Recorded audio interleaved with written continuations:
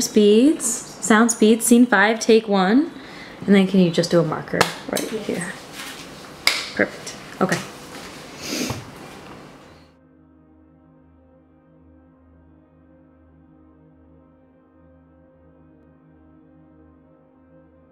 First of all, I love that women are making films right now. And I love that this is a captivating story. People really under underplay the fact that women in film isn't like a powerful thing and that we can't create such great stories, especially African American women.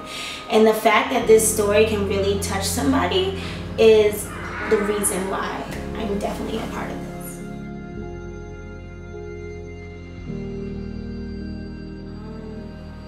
If you've ever had someone that you were instantly attracted to off of their voice, off of off of their appearance, just instantly just you feel like you can just give a hand, but you want more. I feel like everyone has had that moment. And I feel like that could be relatable for the character, but in the whole story, I feel like the story as a whole can really send a message out to just do it. Just go. Do what you have to do. Get what you need to get done. Follow your dreams.